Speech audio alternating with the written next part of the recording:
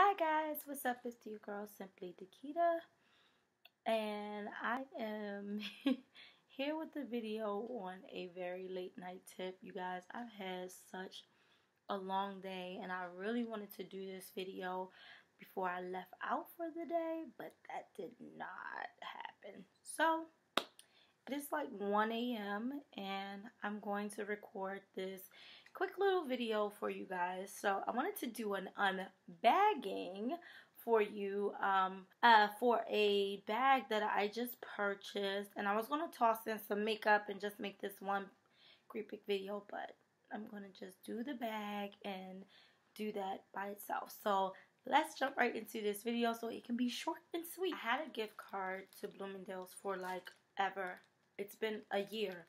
It's actually been a year. I got it for a graduation gift last year, and I never saw anything that I wanted. And I remembered, like, it is a Tory Burch bag that I've been looking at on Saks Fifth Avenue.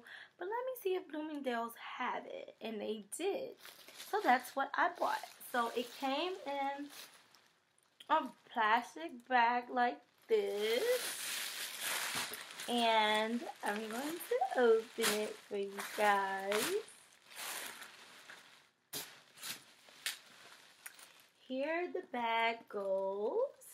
I got a nice little, um, I think they, I think they classified this as bone um, bag.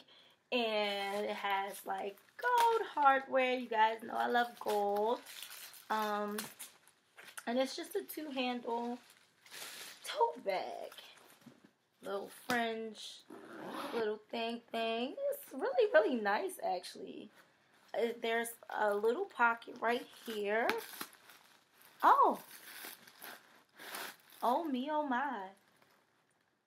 The, the dust bag is actually rather cute, if I must say so myself, with the little Tory Burch.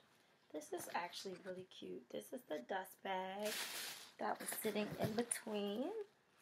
And yeah, just your standard cell phone and like pockets over here. And one zipper area. Um, so this is the front part of the bag. And it's just two handles and I think this little keychain part is like down. I think it'll be really, really cute. I initially thought I wanted to take this to work, but it may be too cute to carry every day to work. Um, so yeah, this bag retails at $5.95. Um, and I just thought it was really, really cute and different. Like I said, I don't own any Tory Burch bags, and I definitely do not own a bag in this color, so I thought this would be really, really nice. I'm not going to use this as a go-to-work bag. I don't know what I'll use this or when I'll wear this, but for now it's just in my collection.